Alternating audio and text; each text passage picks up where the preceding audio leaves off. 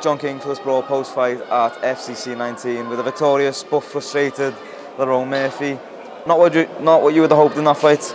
No, I wanted to, I wanted to fight obviously, but uh, my opponent pulled out like five days ago, so he's a late replacement. So it's just one of them, wasn't it? Yeah. Obviously a good start. You know, you look sharp. You, you look the better striker.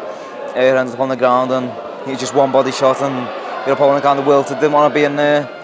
Did you expect more of a fight than that, even even from a late replacement? Yeah, of course. Like he just give up, didn't he? Like he just wanted to, took the money and got off. But hats off to him for getting in there. But like I wanted a fight. I wasn't warm. I felt I needed at least a minute. What was it? Less than a minute, wasn't it? Yeah. So it's one of them.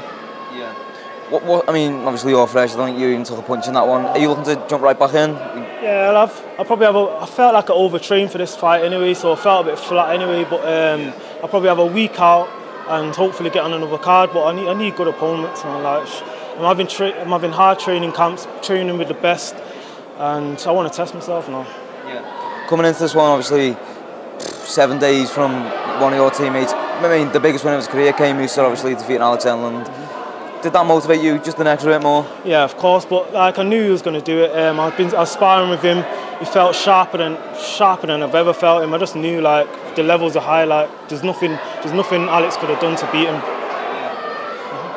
How how do you kind of obviously you know you said you trained very hard for this fight, but there's no real you, you can't really assess this performance and say I'm at this point. You know can, do you know where you are, you know, in terms of skill? Yeah, sparring lets me yeah, know that. So I'm sparring with Kane and others. I'm travelling to other gyms and that. So when I'm sparring with them, I, can't, I know where I'm at. So I'm ready. Yeah, I'm ready. I'm ready. I'm ready.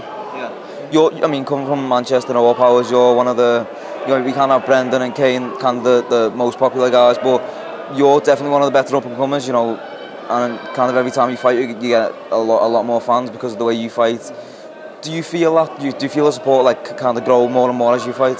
Yeah, yeah, yeah, yeah. I got more and more support. Um, but I'm not going to get more support of that that win. But like people watch my fights from all over and like how I fight it. I come to finish. I come to fight. Um, I'm never backing down for anybody, but I want to fight now.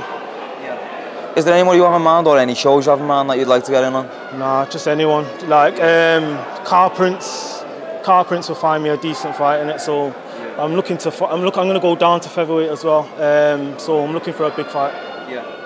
What's next? I mean, obviously, a win's a win. Is there any? You know, are you going to celebrate tonight? Just go home. I just chill. It don't even yeah. feel like a win to me, so I'm just going to go and chill. Like I'm not celebrating that. Like I don't want. I don't want no padded record with like bullshit guys. Like it's not, it's not worth nothing, is it? So yeah, I'm not happy. Yeah. Fair enough. Obviously, a very frustrating night, but as I said, the win is a win. Lerone, congratulations. Yeah. Thank you very much.